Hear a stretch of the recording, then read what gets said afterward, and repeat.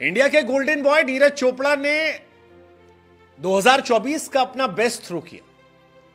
लेकिन ऐसा लगा कि पाकिस्तान के अरशद नदीम आज आउट ऑफ़ सिलेबस आए थे। आज कुछ अलग मेहरबानी उन पर थी और शायद यही वजह थी कि वो लड़का जो एक जमाने में जेवलिन खरीदने के पैसे नहीं जुटा पा रहा था। ज़्यादा पुरानी बात नहीं, साल भर की बात है।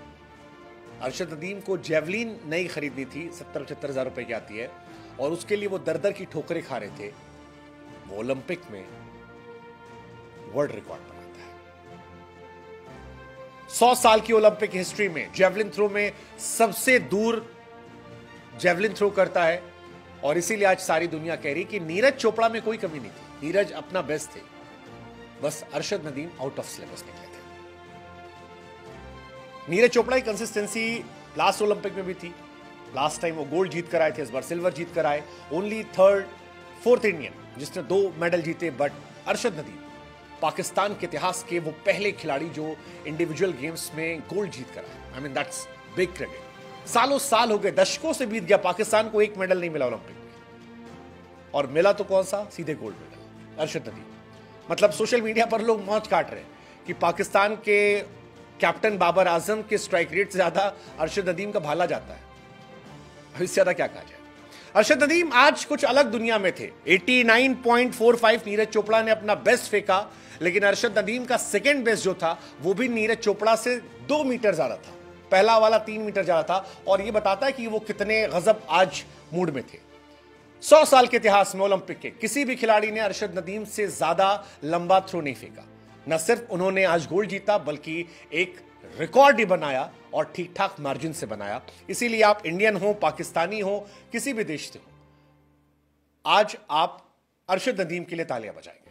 अरशद नदीम आ, के बारे में आप कह सकते हैं कि वो खिलाड़ी है जो अच्छा है और अच्छे लोगों से अच्छा होता है। जिस तरह से नीरज चोपड़ा और उनकी दोस्ती निकल कर आती थी बीते सालों में कई बार वो आकर्षण केंद्र रही। कई बार हिंदुस्तानियों ने भी कहा कि गोल्ड हमारा लड़का जीते सिल्वर आपका जीत जाए। आमतौर पर पाकिस्तान को इंडिया में समर्थन नहीं मिलता। ना पाकिस्तान में इंडिया को मिलता है लेकिन अरशद और नदीम की दोस्ती ऐसी है कि दोनों जगह एक दूसरे को समर्थन मिल जाता है। और वो पाकिस्तान जिसने बीते बत्तीस सालों में कोई मेडल नहीं जीता था वो आज सीधे गोल्ड मेडल जीत रहा है। अरशद नदीम ने बयानबे पॉइंट नाइन सेवन मीटर का एक रिकॉर्ड बना दिया। I I mean mean, Pakistan की ओलंपिक हिस्ट्री का ये सबसे बड़ा मूवमेंट है। बार बार मैं कह रहा हूँ लेकिन ये वही खिलाड़ी है जिसको जेवलिन खरीदने के पैसे नहीं दिया। मतलब क्या ही कहा जाए। इस हिसाब से, जिस हिसाब से तैयारियाँ थी, उस हिसाब से आज आप अरशद नदीम की जितनी तारीफ़ करें उतना करें। जितनी तारीफ़ करें। Arshad Nadeem has won the first ever individual gold in Olympics for Pakistan Arshad Nadeem आज पाकिस्तान के सबसे बड़े एथलीट बने सबसे बड़े एथलीट मतलब वो लड़का जो मियाँ चानू की गलियों में घूमता था, संघर्ष करता था, जिसका बाप गरीब था, वो आज पाकिस्तान के लिए ओलंपिक से पहला गोल्ड मेडल ला रहा है। ये बताने के लिए काफ़ी कि कितना बड़ा प्लेयर है। इसी साल जनवरी में अरशद नदीम के पास पैसा नहीं था, नई जेवलिन खरीदने का। इधर, उधर वो बार बार भाग रहे थे। बाद में पाकिस्तान क्रिकेट बोर्ड के पास गए, शहबाज शरीफ के पास गए, जैसे तैसे उन्हें स्पॉन्सरशिप मिली और उसके बाद लौटे और आज पूरा इंडिया, पूरा पाकिस्तान, पूरी दुनिया उनके लिए प्राउड है। हालाँकि proud as an Asian country हम सब भी हैं, क्योंकि हमारा लड़का और पड़ोस वाला लड़का दोनों टॉप कर कर आया है तो आज गर्व का विषय है। अरशद नदीम ने 92.97 मीटर फेंका 91.79 फेंका, हमारे लड़के ने 89.45 फेंका और मेडल आ गया। लेकिन यह सच है कि अरशद ने आज डोमिनेट किया फाइनल को। एक तरफा डोमिनेशन जो है वो दिखाया और यहाँ से इंडिया पाकिस्तान की एक नई राइवलरी की शुरुआत कर दी। एक ऐसी राइवलरी जो क्रिकेट की राइवलरी से ज़्यादा बड़ी होने वाली है। अरशद ने पहली बार जब नब्बे फेंका था, तब सबको लगा था कि शायद हो तुक्का हो। इस बार भी 92.97 गया, लोगों को लगा तुक्का हो। लेकिन जब तीसरी बार फेंका, तब अपने लेजेंड होने की कहानी सुना दी। अरशद एक गरीब परिवार से आते हैं। लोगों ने मज़ाक की उड़ाया इनका जब ये गेम चुना था इन्होंने।